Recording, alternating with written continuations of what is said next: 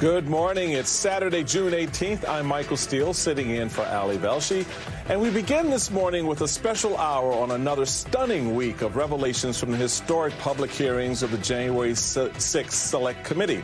We now have the clearest picture yet of ex President Donald Trump's far fetched plot to overturn his 2020 election loss in the run up to the attack on the Capitol and his role in stoking violence aimed at his own vice president. During this week's hearings, the committee presented evidence that Trump was told numerous times that he lost the election, but proceeded to lie about so called fraud anyway, in a desperate attempt to remain in power. This week's hearings also gave us disturbing new insights into Trump's bullying campaign against his former vice president, Mike Pence.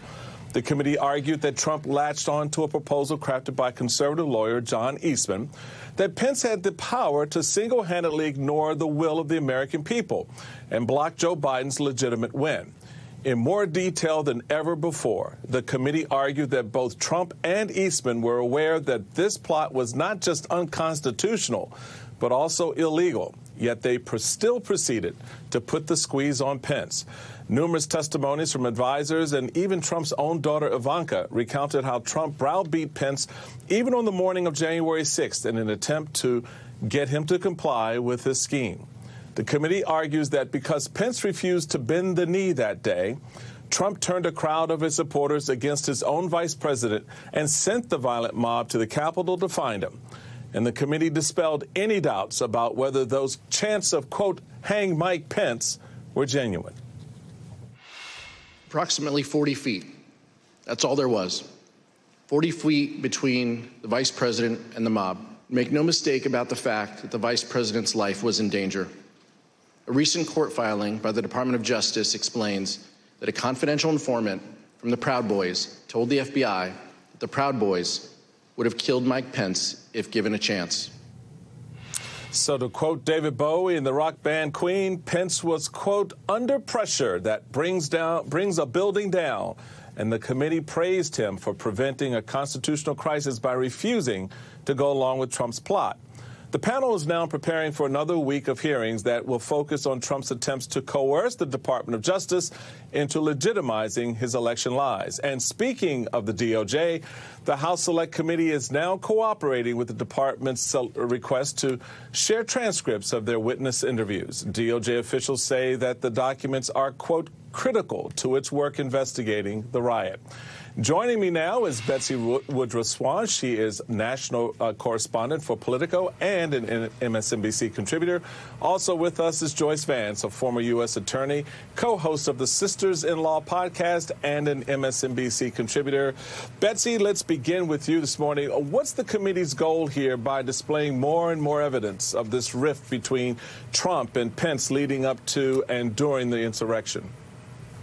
They're showing how deliberate and how planned in advance Trump's efforts were to pressure Pence to get on board with reversing the election. And the other thing that they really laid out in very granular and even wonky detail in the most recent hearing was that Trump himself and John Eastman, his lawyer, were both told over and over and over again that the scheme that they were trying to perpetrate was very, very illegal. In Trump's case, it's not totally clear if that was something he ever grasped. But in Eastman's case, according to Mike Pence's top White House lawyer, Eastman himself conceded that the scheme they were trying to roll out would have broken the law. That Pence lawyer, Greg Jacob, also said that in a conversation with Eastman, Eastman conceded not only that the scheme would have broken the Electoral Count Act, but also that if they went to the Supreme Court to try to get the Electoral Count Act overruled and dubbed unconstitutional,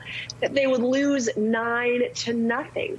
That concession is really important because it just shows the extreme lengths to which President Trump and his chosen legal advisors were willing to go to try to reverse the outcome of the probe. Trump was surrounded by lawyers telling him he lost and telling him the steps that he wanted to take were not okay. And he basically lawyer shopped until he found the one person who was willing to say, oh, actually, you won, and oh, actually, we can push the vice president to make that happen. That's the, the rich new picture that we got over the last committee hearing. And and that's the that's the interesting, quirky part uh, for me, Joyce, because one of the key things that the committee has highlighted is that John Eastman was aware of this illegality, the the total illegality of his plan, right? To have Pence single-handedly overturn Biden's win. But he proceeded to pressure Pence anyway. And although Eastman isn't testifying before the committee, can his seeking of that pardon, remember that little thing, hey, I like to get a pardon too, does that what does that do? Is that an admission of guilt? How does that change this narrative that uh, both Trump and Eastman are putting out there that, oh, this was all good? So the committee doesn't operate under the rules that I would have to operate under in court as a prosecutor. There's no limitation on the sorts of evidence that they can introduce. And they've used this particular piece very skillfully because as a lawyer, as a very good lawyer, John Eastman clerked on the Supreme Court. When he seeks a pardon, he obviously understands what he's doing. And the implication is that he believes he's in serious trouble, that he's committed crimes. The committee then explains that when he comes in to testify in front of them, he takes the Fifth Amendment a hundred times. And that means that he thought that the answers to a hundred questions, if he answered truthfully, each of those answers would have tended to incriminate him. The committee does that to give us a little bit of context for everything we hear. But, Michael, this isn't tough. If we back up out of the weeds a little bit and think about what the scheme was, it's clear that it wasn't a legal sort of a political maneuver. The scheme was this have the vice president throw the election, have Mike Pence say that he doesn't like the count. He thinks something is improper in the count. So he's breaking the whole system and he won't certify the count. And the reason that we know that's illegal if our common sense is not enough is because John Eastman acknowledged it. When he was asked and when he was point blanked about the fact that Al Gore could have done that in 2000 when he lost, he could have used that in that very hotly contested election to claim victory, and he didn't. Eastman says it would have been wrong for Al Gore to do it. It would be wrong for Kamala Harris to do it in 2024. But you should tell Mike Pence to do it now.